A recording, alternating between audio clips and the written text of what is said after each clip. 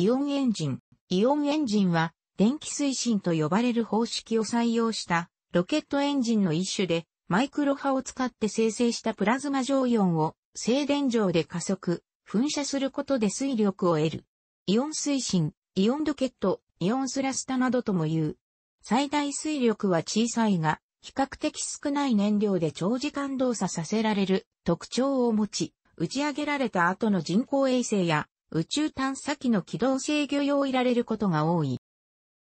以前は実証試験として搭載される例が多かったが、近年では従来のヒドラジン系推進機に代わる標準装備となりつつある。非水力が化学ロケットよりも格段に高いため、静止衛星の長寿命化に貢献している。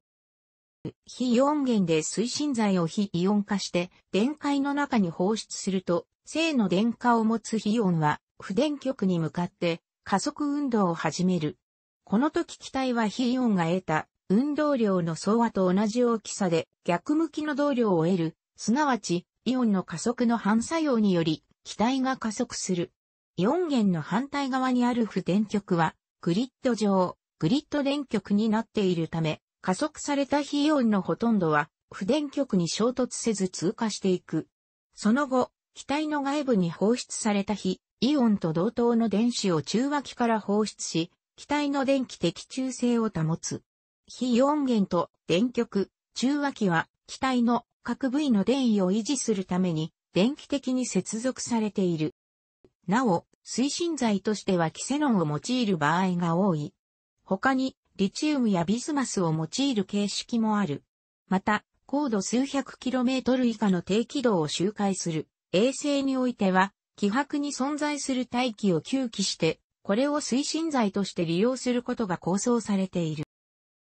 イオンエンジンのようにイオンを空論力で加速する推進機は、静電加速型と呼ばれ、類似の推進機がいくつか存在する。静電加速型の特徴として、原理的に高い推進効率が見込める一方で、水力密度がやや低い傾向を示す静電化電粒子推進機は推進剤として、アルゴン、キセノン、クリプトンなどのプラズマになりやすい元素を使用する。加熱されたフィラメントの陰極からの電子でガスをイオン化する。この方式は電子の損失が大きい。加速したイオンビームをそのままにしておくと、宇宙機側がイオンと逆の電荷に帯電し、ビームが戻ってきて推進できなくなる。それを防ぐため、イオンビームを噴射した後逆電荷を噴出して、B を電気的中性のプラズマに中和する。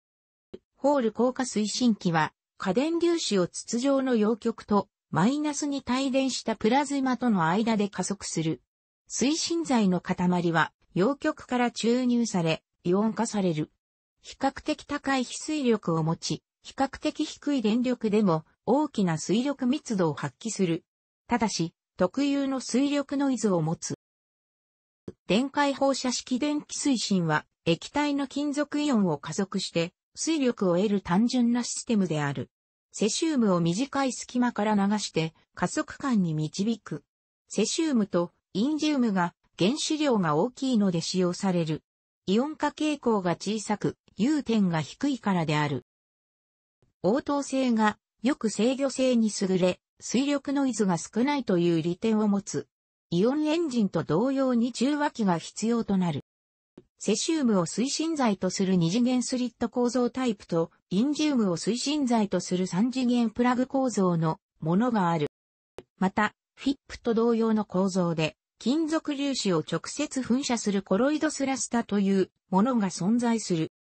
パルス誘導推進機はパルスを連続的に出すことで推進力を得るものである。メガワット級の出力を出すことができる。アンモニアガスが通常使用される。コイルから発生する磁場で過電流合を収束させて噴射する。ローレンツ力を用いる。磁場プラズマ力学推進機プラズマ化したリチウムイオンをローレンツ力で加速する。非水力可変型プラズマ推進機 DC アークジェットよりも、はるかに高いプラズマ温度を達成することが可能である。電熱加速のシステムとも、電磁加速のシステムであるとも言える。は二つの特徴がある。電極の消耗がないことと出力を加減できることである。電極が消耗する要因はイオンにさらされるからである。電極の寿命が事実上、イオンエンジンの寿命といっても過言ではない。中性のガスは電磁波によってイオン化され、別の電磁波によって加速される。イオン化と加速の分離は出力を加減することを可能にした。イオンロケットは化学ロケットの10倍以上の非水力を誇り、また非常に高い速度差が実現可能である反面、その加速に要する時間は非常に長い。これは、イオンは軽量であり、水力密度が低いためである。また、イオンが高速でグリッド電極に衝突するため、長期間にわたる運用では、グリッド電極への侵食が問題になる。イオンエンジンは水力密度が低いことや、真空中でしか作動できないため、地球からの打ち上げに使うことはできない。その反面、少ない推進剤で長時間作動させることにより、大きな速度変化を与えることが可能であるため、静止衛星の軌道上の位置ずれ制御や惑星間飛行、小惑星、水星探査などの用途には最も適している。実際に使用された例として以下のようなものが挙げられる。その他、1997年8月に打ち上げられたパ -5 以降、商用通信衛星でも4エンジンを装備する衛星が出てきており、HS-601HP、現在のボーイング -601HP 衛星バス、ボーイング -702 衛星バスでジップスが使われている。楽しくご覧になりましたら、購読と良いです。クリックしてください。